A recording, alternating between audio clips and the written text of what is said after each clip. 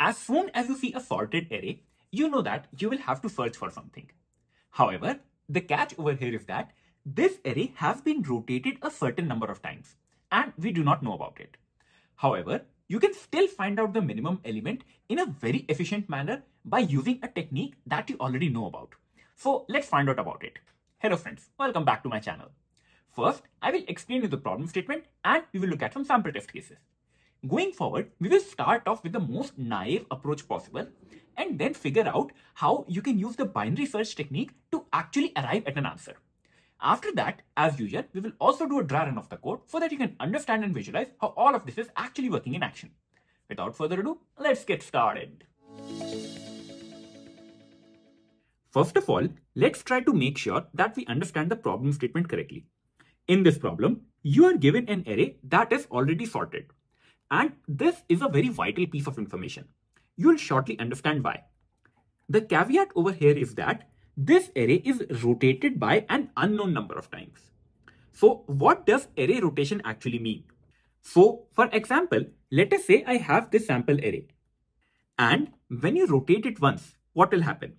When you rotate it once, this 10 will get over here and this 1 will get over here. So all the elements will shift by 1.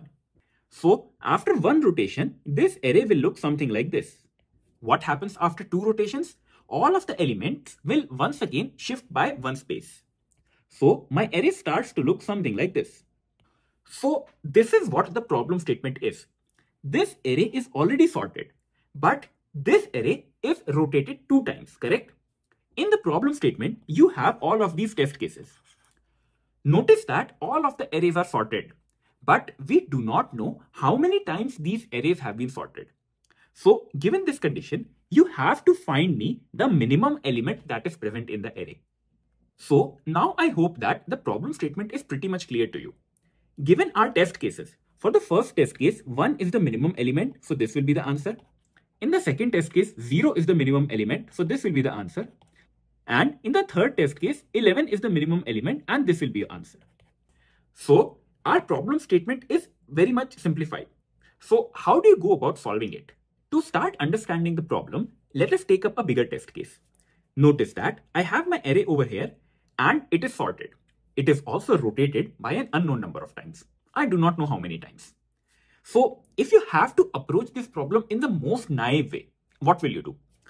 The first approach that will come to your mind is, okay, I will scan the entire array and then I will find out, okay, what is the minimum element? That works, right? You will be able to find the minimum element in order of n time complexity, right? You will just scan the array and keep a track of the minimum element, right? Now comes the interesting part. You will think, okay, I want to optimize this method. And this clicks your mind that, okay, this array is sorted. You know that this array might be rotated as well, correct? So what you can do is you can start to traverse the array from the very beginning right? And notice that you will keep on getting bigger and bigger elements, 5, 7, 8, and then a 12. So what you want to do is, you will keep on scanning the elements until and unless you get an element that is smaller than my previous element. So notice what happens. You see 12, that is bigger than the previous element, then a 15, then a 20, and suddenly what happens? You get a minus 7. So if this array were sorted, all of the elements should be bigger, right? But you see a smaller element. So what just happened? It means that this is your pivot element or this is the point from which your array was rotated. So what you can do is you can simply stop over here and then say that, okay, this is my answer. Why? Because your array is rotated and you know that all the elements after this will be larger, correct? You were able to take some advantage of the fact that the array is sorted and it is not necessary that you will have to scan the entire array. But once again, even for this method, the time complexity is order of n. That is the worst case time complexity. Because it could be possible that the minimum element lies over here, or it can also be at the very end. Think about it. If your array has four elements and it got rotated three times, the minimum element will reach at the very last position. So you will have to scan your entire array. So once again, this method gave us some optimization, but it is not enough. We want an even faster approach. We never fully utilize the fact that this array is already sorted. And whenever you see a sorted array, it means that you have to apply the binary search algorithm somewhere or the other. So let us look at this problem once again. I have my array over here and let us try to apply the binary search. What is the first thing we do in binary search? We assign our left pointer and a right pointer, correct? So these are the two extremes. After this, what do you do? You will try to find out the middle element. In this case, let us say the middle element comes over here, right? If you had to search an element in a sorted array, what do you usually do? You would do something like this, right? ARR at mid equals to some target value that you have to search, correct? And based upon this, you either move your left pointer or your right pointer, correct? That is the binary search approach. But in this particular problem, you do not have any target value. How will you compare this mid number? Who do you compare it to? You don't have anything, correct? Wrong. If you notice, all of the elements in the array, for example, I take this random element. What is happening? The left element is smaller and the right element is larger than this. Even for 15, the left element is smaller and the right element is larger. Check out 0. The left element is smaller and the right element is larger. But if you notice, look at minus 7. This is the minimum element, correct? And what do you see? You see that both the left and the right, both of the elements are larger. This is the only exception. So you are searching for an element where the left is larger and the right is larger. And based upon this, you can move your left and right pointers. So now you have your mid pointer, correct? So what do you do? You check is this element smaller than both of my left and the right elements? No, right? So that means it is not the minimum element. This is not the pivot. I have to scan somewhere else. Also, what is binary search doing for you? Binary search divided your array in two halves, correct? And where do you search next? You know that for binary search, you have to discard one of them. But which one of them? If you see this particular array, check out the first element and the last element. The first element is smaller than the last element. It means that this array is already sorted. So naturally, you cannot find your answer in this particular array. But if you look at the other one, the first element is larger than the second element.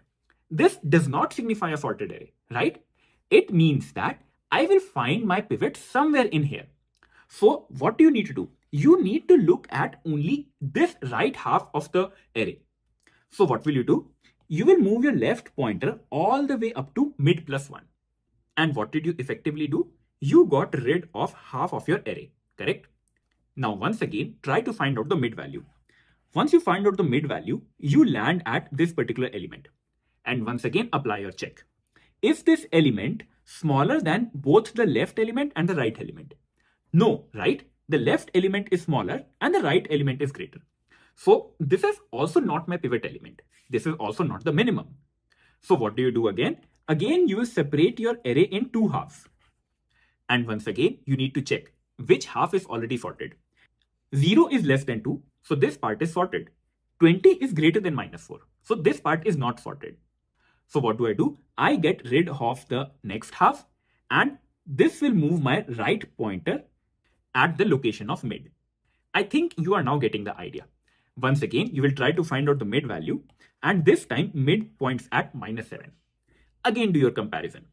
If the left element and the right element both are greater, it means that this is the minimum element in your array. So with this iteration, you will confidently identify that, hey, I have reached my mid element and you can simply return minus 7 as your answer. So if you notice, at every iteration, we are applying the binary search technique and getting rid of half of the array. So this gives you a time complexity of order of log n. And trust me, it is very, very, very much faster than doing the order of n time complexity because order of n would increase like this, whereas order of log n would move something like this. And that is a significant reduction in the time taken. Now, based upon this idea, let us quickly do a dry run of the code. On the left side of your screen, if you notice, you have a very similar code that looks exactly like the binary search technique because it is. And on the right, I have a sample array that is passed in as an input parameter to the function findMin. Starting off with a dry run, what is the first thing that you do? First of all, you will initialize two pointers left and right that are pointing at the first location and the last index of the array respectively, correct? After that, you will start a while loop. And this while loop is very, very similar how you do the binary search technique. You find a mid element and then once you have found out that mid element, you will check, hey, is this mid element actually my pivot element or the minimum element? And based upon what we just discussed, you will either move your left pointer ahead near the mid, so you are reducing your sample space, or you will move your right pointer to the mid. That means you are reducing your sample space like this. So this is how the binary search will continue on working. And when this loop ends, your left pointer will be pointing at the minimum element in your array. Just try doing it step by step in your debugger and it will be very, very clear to you. So once this loop ends, simply return the element that is at the left index and that will be your answer. I hope this solution will now stick in your mind forever. I just want to say that whenever you see a sorted array, it straight away indicates that you are expected to apply the binary search technique because it works on the divide and conquer paradigm, right? Where in each iteration, you can simply discard half of your sample size. So this speeds up the process a lot. You will achieve a log n time complexity and that is very, very fast. Also keep in mind that sometimes it is not obvious that the binary search technique can be applied over here. In those scenarios, it may be possible that you need an order of n time or order of n log n time to actually massage your array and bring it in a format where you can apply the binary search technique. So just keep these things in mind and always form your solution by thinking of all of these methods. So while going throughout the video, did you face any problems? Or have you seen any other method by which you can simplify the problem even more? How did you solve this problem? Tell me everything in the comment section below and I would love to discuss all of it with you. As a reminder, if you found this video helpful, please do consider subscribing to my channel and share this video with your friends. This keeps me motivated and I can make more such videos. Also, a huge shout out to all the members who support my channel. You guys really keep me going. And as a member, you do get priority reply to your comments and early access to new videos as well. So stay tuned for my upcoming videos. Until then, see ya.